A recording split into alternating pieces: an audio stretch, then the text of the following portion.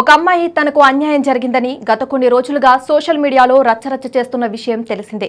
తెలుగు అమ్మాయిలకు సినిమాలో డెబ్బై ఐదు శాతం అవకాశాలు ఇవ్వాలని ఇవ్వకపోతే నేను నగ్నంగా నిరసన తెలుపుతాను అని చెప్పిన మరునాడే అన్నట్టుగానే ఫిలిం ఛాంబర్ ముందుకు వస్తుండగా వెనుక నుండి ప్రముఖ ఛానల్స్ వారు కెమెరాలతో వచ్చారు.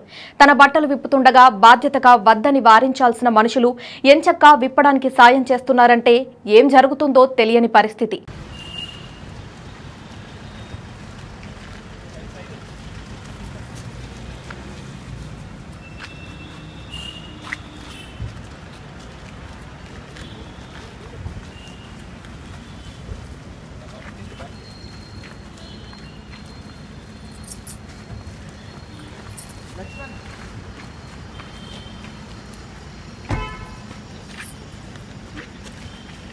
ఎస్ ఎస్ రైట్ వచ్చి తాను డ్రెస్ తీయడానికి రెడీగా ఉన్నానని చెప్పేసి అని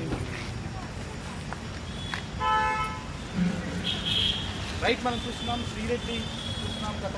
నెల రోజులుగా కూడా చాలా సంచలనమైనటువంటి అంశాలన్నీ కూడా తీసుకొచ్చారు. మూవీ ఆర్టిస్ట్ అసోసియేషన్ వాళ్ళు తనకు మెంబర్షిప్ ఇవ్వట్లేదు. మెంబర్షిప్ ఇవ్వనటువంటి కారణంగా ఖచ్చితంగా వారికి నా ప్రొటెస్ట్ తెలియజేస్తానంటూ కూడా దేశంలోనే తొలిసారిగా శ్రీరెడ్డి అని మహిళా లోకాన్ని కించపరిచే విధంగా శ్రీరెడ్డి ఇలా చేయడం ఏం పాలేదు తెలుగు అమ్మాయిలకు అవకాశాలు రావడం లేదు.